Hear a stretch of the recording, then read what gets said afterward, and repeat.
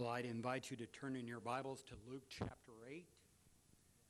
Luke chapter 8, and we're going to begin with verse 26, and we're going to go through to verse uh, 39. And if you read this text in Luke 8, 30, 26 to 39, we're going to see that in that text we see proof positive how Jesus can change and make a difference in a person's life.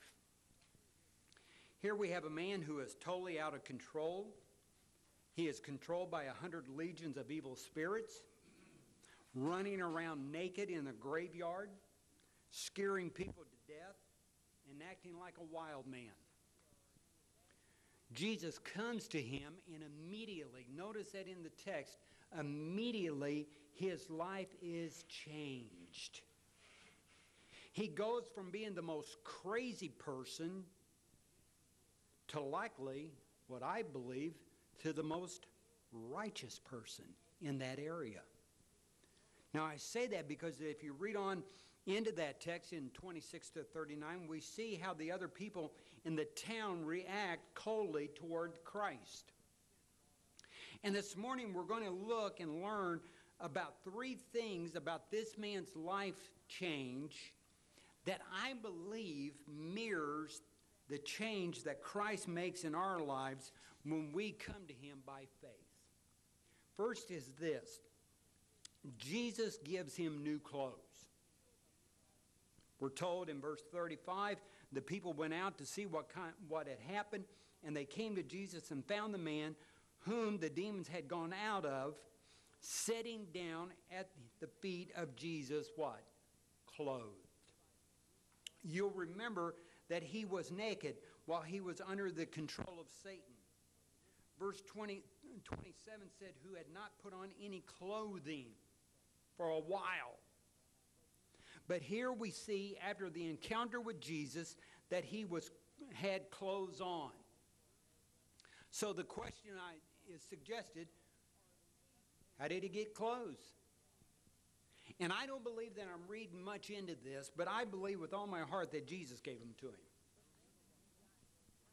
We are saved, and uh, yeah, when we are saved, Christ gives us a garment to wear, doesn't he? According to Isaiah chapter 61 and verse 10, it says, Isaiah writes, I will rejoice greatly in the Lord.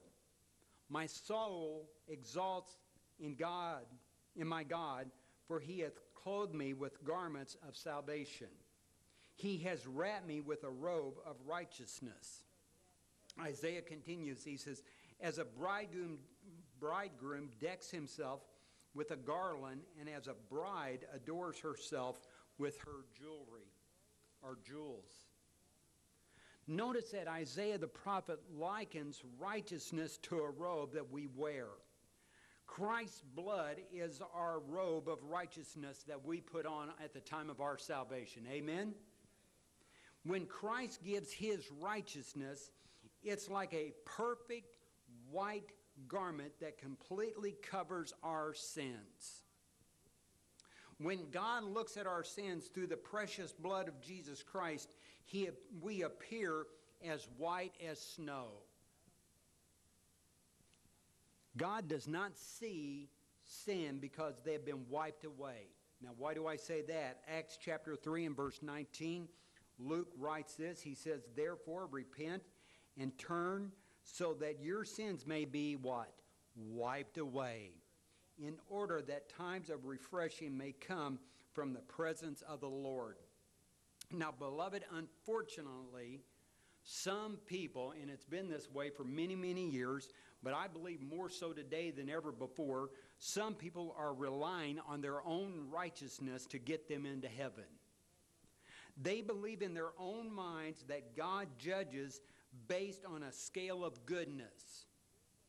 And if your good deeds outweighs your bad deeds, they believe you go to heaven. So they are relying on their own righteousness. But here's what Scripture says about that in Isaiah 64, verse 6. Our righteousness for all of us have become like one who is unclean, and our righteousness, our righteous deeds are like filthy rags. If a person, if you or if someone you know is relying on their own righteousness to get them into heaven, their own goodness to get them into heaven, beloved, according to Isaiah, you are relying on filthy rags. But God says we as believers are clothed with His righteousness, which comes through faith alone, in Christ alone, by grace alone, through Scripture alone, for the glory of God alone. That's how you get to heaven. Number two, Jesus gave him a new mind. Look at verse 35, and especially the last part. Luke 8, verse 35, last part. This man was sitting down at Jesus' feet, clothed. We've already discussed that. But look at the last part. It says, and in his right mind.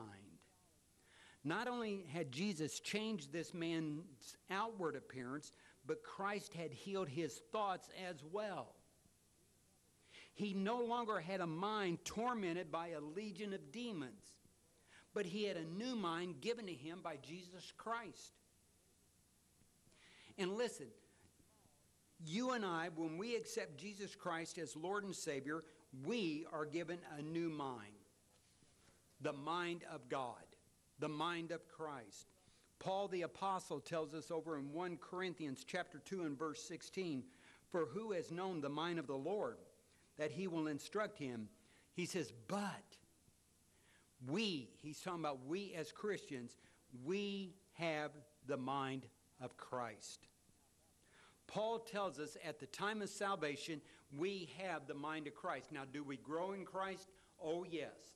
And sometimes does it take time? Without a doubt. But, beloved, we have the mind of Christ. And receiving the mind of Christ means that we that he, God, gives us a new desires. If I could bring it down to simple forms, let me put it this way. It would be like me saying, I received a new want. What, what do I mean by that? I used to want to do this, what was good for me and what I wanted to do. But now, since I have that mind of Christ, I do what He wants me to do. The Bible teaches that without God drawing us, we wouldn't even desire, have a desire for Christ. Once God draws us and we yield by faith, God gives us a new desire to do His will. Here's what the Word of God says over in Psalms 37 and verse 4. It says, Delight yourself in the Lord, and He will give you the desires of your heart. Now, I know that there are a lot of false blabbing and grab it, name it and claim it guys out there that they take Psalm 37, verse 4, and they twist it and they turn it and they don't teach the right Hebrew understanding of that verse. And what these false claimant, false prophets do is that they try to prove that God is nothing more than a genie in a bottle, ready to grant you every wish, to fulfill every need of yours and every desire. Listen, to, the key to this verse is this delight yourself in the Lord. When you delight yourself in the Lord, His desires becomes your desires. You receive His mind and His desires. And when you come to Christ in faith, He not only gives you a new garment, but He also gives you a new mind with the desire to do His will and His will alone. Number three that we learn from this man Jesus gave him a new mission. In verse 38 and 35, up till now, this man was a poster child for satanic influence. Now he is a picture of how Jesus can change a life, and Jesus said to this man, Go tell others what God has done for you. And the Bible tells us in Luke chapter 8, guess what? He does just that. We who know Christ as Lord and Savior, beloved, listen, we have been given a powerful mission. Matthew chapter 28 in verses 18, 19, and 20, but I'm only going to give you verse 19 this morning. You can read 18 and 20 later. But in Matthew chapter 28, verse 19, Jesus says to the disciples, Go therefore and make disciples of all nations, baptizing them in the name of the Father and the Son and the Holy Spirit. Beloved, this is what is referred to as the Great Commission. And if you are a disciple of Jesus Christ, what does that mean? If you are a learner of His, if you have accepted Him as Lord and Savior, that Great Commission given in Matthew chapter 28, verses 18 and 19 and 20, was not only given to the original guys, but it's given to you and I. We are to tell people about Jesus Christ. It's Christ's mission to us that we tell everybody we come into contact. That go, therefore, a lot of people, man, I remember the first time I read that, I thought, my goodness, I have to go to the deepest, darkest part of Africa. Or I have to go to wherever. No, I finally learned what it meant. When it says go, therefore, what it's saying is, hey, Valley, when you go to work, hey, when you go to school, when you go grocery shopping, when you go clothing shopping, you run into people, you tell them about me. That's what Jesus is saying. And it's Christ's mission, mission to us that we tell the world and we tell everybody we come into contact, uh, come into contact to about His saving power. I read this, and this, uh, the Barna Research Group did this survey a couple years ago, so it's a couple years old. Okay, so think of that. But I don't think it got any better. Barna Research Group stated that only 2% of the Christians, those who profess to be born again believers, born from above, believers in Jesus Christ, actively share their faith. 2%. Now, if my math serves me right, okay, and I've always told you math was not my greatest subject, but if my math serves me right, that means for every 100 Christians, guess how many people are telling other people about Jesus Christ? Two. That's it. And I'm not talking about doing door to door evangelism. I'm not talking about that. I'm not talking about standing on some street corner of some city or some town and, and blaring out the gospel of Jesus Christ. I'm talking about someone talking to someone about what's going on in the world today, and that someone looks at you or looks at me and says, Man, this world is going crazy, and I am so worried to death. That is the perfect opportune time, beloved, to tell them about your assurance of your faith in Jesus Christ and Him alone, and that you are not worried about it, and that God is in control. It means listening to people, listening to their words, and telling them why you have peace in this life. I'll never forget, I met a man many, many years ago by the name of Bill Threlkill. And Bill was a perfect at this. He, he just listened so intently. And one time he told the story that his daughter turned 14, 15 years old, and him and his wife, they were going to splurge and have a big party, and she could invite however many of her little friends over, and that's what they did. And one of her, Bill's daughter's friends came up to him and she said, Oh, Mr. Threlkill. And she named the little girl. She goes, She is so lucky to have you as her father. And Bill's mind was like a steel trap.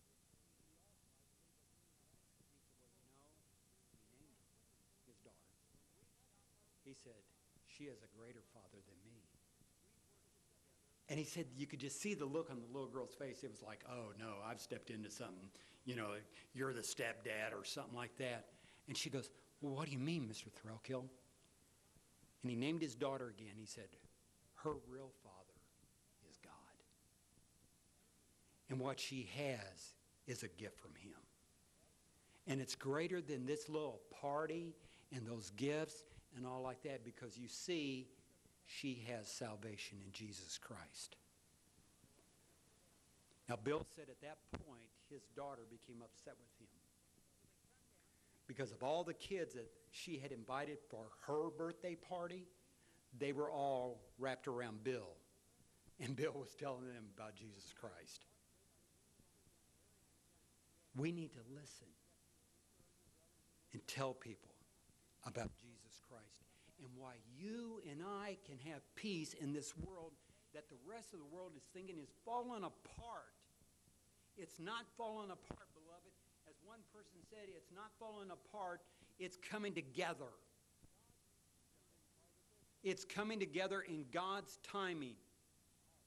And you and I have the privilege to be here and to witness this. And we need to tell people about Jesus Christ. But you know what I've found out? Most people are afraid to tell people about Jesus Christ. And I've had them tell me this. There's, they've said, well, Bruce, I, I, just, I just don't know, and they stutter, like I just did. Okay, I had to make up for that. They, they, they say, we don't understand. We don't know what to say. See, the Lord told this guy, and this guy did not go to seminary, the guy in the tombs. I don't believe he even said in a Sunday school class. I don't believe that he learned any of the basics of Christianity. But here's what Jesus said to him He said, Go tell your house what great things God has done for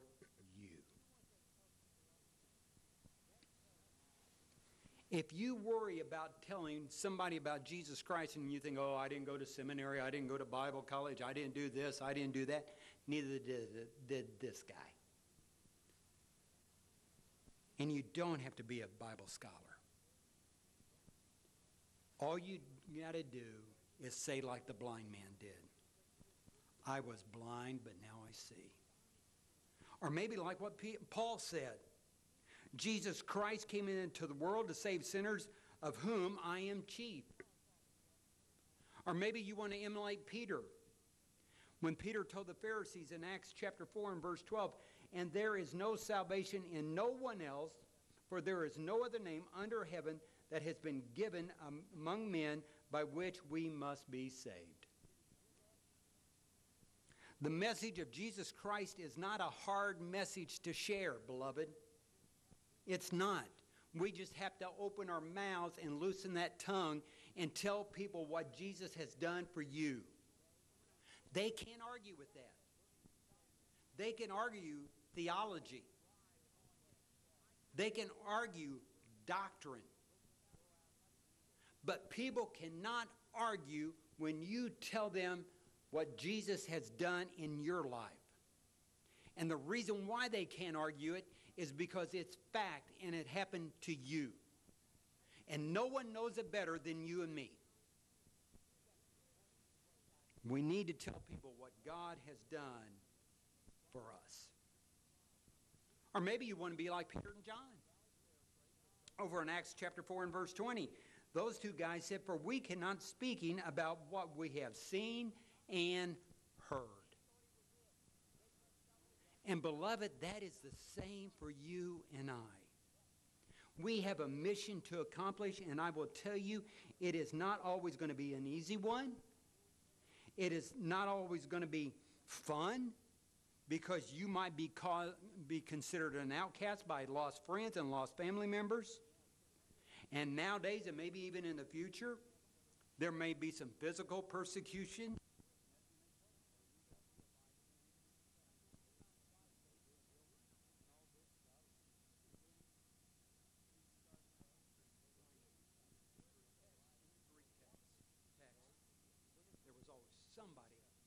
stop either the prophets or the apostles from telling what Jesus had done for them.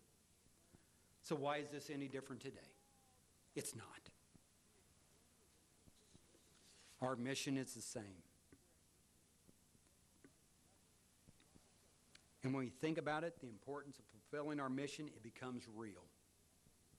The Word of God says that faith comes by hearing the Word. If no one is preaching the Word, I'm not talking about standing up behind a pulpit.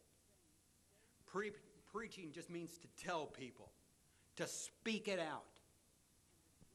If no one is preaching the word of God, if no one is talking about Christ, if no one is bringing their family members and their friends to hear the word of God and to share the word of God, then will, will these people hear about God?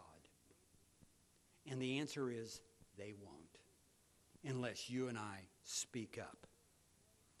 Listen to the words of God to the prophet Ezekiel. Ezekiel chapter 3 and verse 17. God is speaking to Ezekiel and he says, Son of man, I have appointed you a watchman to the house of Israel. Whenever you hear a word from my mouth, warn them from me. Now let's break that down for a moment. God speaks to Ezekiel and he says, Ezekiel, old boy, I have placed you as a watchman. And we don't hear a lot about watchmen today, do we? Think of a sentry guy, somebody on guard duty. Okay? And your job, sentryman, guard on guard duty, watchman, is to warn people of about impending danger. About end times prophecy, yes. What is going to happen in the end? Amen? And that's why I'm just going to put a plug here. That's why we're here at Grace Baptist. That's why we teach Bible prophecy on Sunday nights starting at 7 o'clock. 6 o'clock. I knew the time. I was testing y'all at 6 o'clock. But it's to warn people, isn't it? It's not to warn believers because through the grace of God, we're going to be raptured out of here. But, beloved, I know that you have friends and I have friends. You have family, I have family that have not accepted Jesus Christ as Lord and Savior, and they're going to be here after the rapture, and we need to warn them of what life on this earth is going to be like. So we have to tell them. And we have to tell them that if they die before the rapture, or if the rapture happens and they're left behind and they don't accept Christ as Lord and Savior, that when they do die, they will spend all eternity in a real place, beloved, in a real place called hell. And they can think all they want that their buddies are going to be there and it's going to be a big party. But, beloved, they are so mistaken. It's not going to be a party, it's going to be misery upon misery. And beloved, God has given you and I the mission that He gave Ezekiel to be watchmen or watchwomen and to, and to share the gospel of Jesus Christ as Lord and Savior with people, what He has done in your life. And here's the thing, and I have people that say, well, what if I share Christ and they don't accept Christ as Lord and Savior? Okay, let me explain.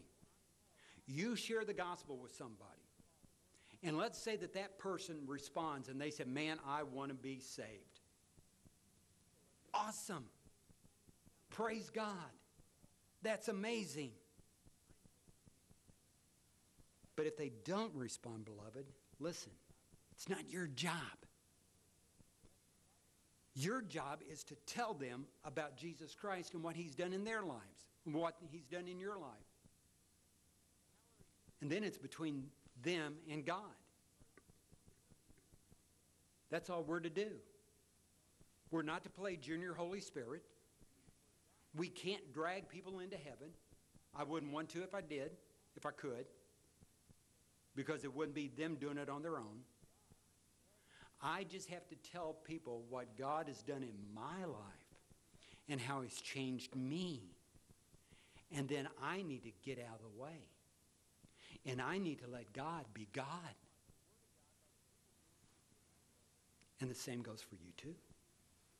You tell your sisters, you tell your brothers, you tell your cousins, you tell your mom and dad, you tell your aunts and uncles, your co-workers, your friends, your neighbors what Jesus has done for you and then get out of the way and let God be God. Well, let's close with this. If you encounter Jesus Christ in your life, you are a believer. You need to be permeated and to do the desires of God.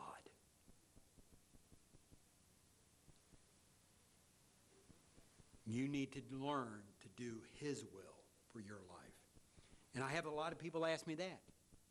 They'll say, well, well, Brother Bruce, I, I'm just trying to figure out the will of God for my life. I can help with that. I can. God's will for your life may be for you to be a plumber. His will for your life may be a carpenter. His will for your life just may be to be a mom, a dad, a school teacher. And you can name the occupation. And you'll look at me and you'll say, But that's what I already do. And my answer to you is, Then do it. Then do it.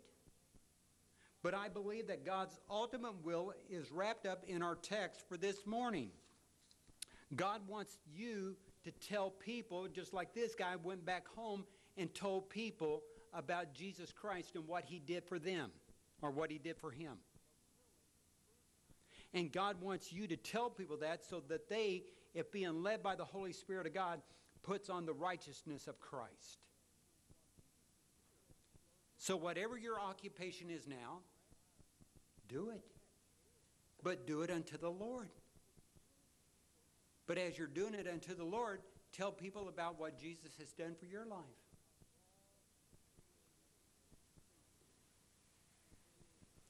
But now, folks, let me say this. If you're listening to this this morning for whatever reason, and you don't have a union, you don't have a relationship with God through Jesus Christ and Him alone, and you think your own good works and your own good deeds will save you, and that because of those things you'll go to heaven, beloved, I say this as lovingly as I know how.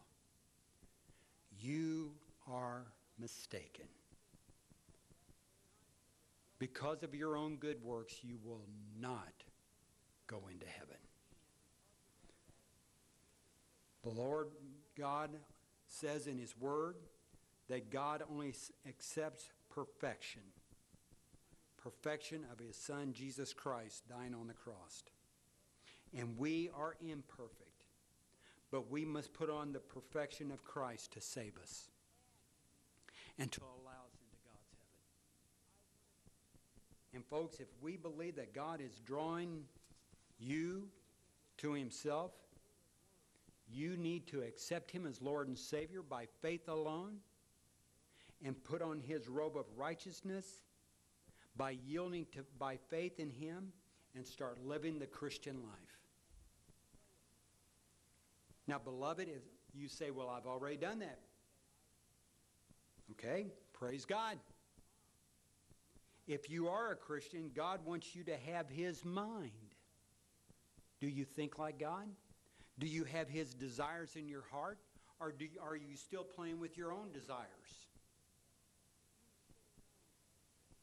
I was going over my message this morning, and I got to this point because I go over it word by word by word. And when I got to that part, I just had to stop and I say, Lord,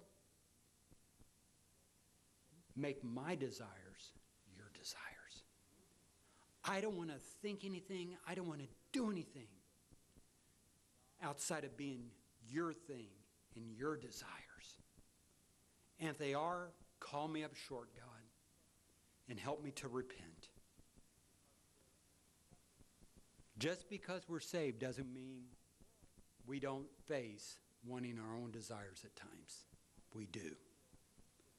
But if we have if we're clothed in his righteousness and we have that new mind, then we will desire to do his will for us and to do his desires as well. And above all, beloved, if you are a believer in Jesus Christ, listen. Again, don't play junior Holy Spirit, but tell people about Jesus Christ. You know people more than I'll ever get to know because they're in your circles, they're in your family. Tell them about Jesus Christ.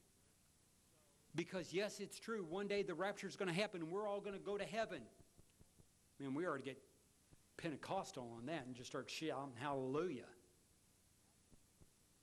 But, beloved, listen to me. You have family, you have friends that have not accepted Jesus Christ, and when the rapture happens, if they take the mark of the beast during the tribulation period, beloved, they are consigned to hell for all eternity. And you have the keys. I have the keys. The keys to the kingdom. What does that mean? Tell them about Jesus Christ. And then get out of the way. Beloved, our time on this earth, I believe, is short. I believe the rapture can happen at any moment. And I don't know about you, but I want to take as many people with me as I can. That means I need to open my mouth and tell people what Jesus has done in my life. And that's the end. That's our mission. But we've been clothed in his righteousness. We have a new mind, and we have a mission. And I believe it's high time that we as believers do them and live that way. Let's quit playing games, beloved. Let's pray. Father God, we thank you for your text. And Father, we thank you for loving us the way you do. And I know I'm saying it again, but Father, and I, it may sound very shallow, but it, it comes from the heart. We thank you that you saved us. That you called us out of that life. Maybe not as bad as some, but maybe worse than others. But for whatever reason, you looked down through the corridors of heaven before the foundation of the earth. And you knew that we would be saved because you called us. Father, we thank you for that.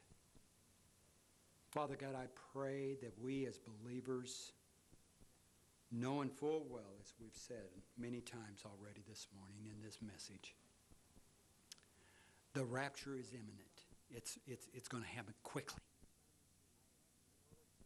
So, Father, help us in the days that we have left to tell others what you have done for us. And then leave the results to you because you are God. We love you. We praise you. We thank you for our time together in your holy scriptures. Father, erase any stupid thoughts or sayings that I've done and let the minds of the people turn nothing but to the Word of God. In Jesus' name, amen.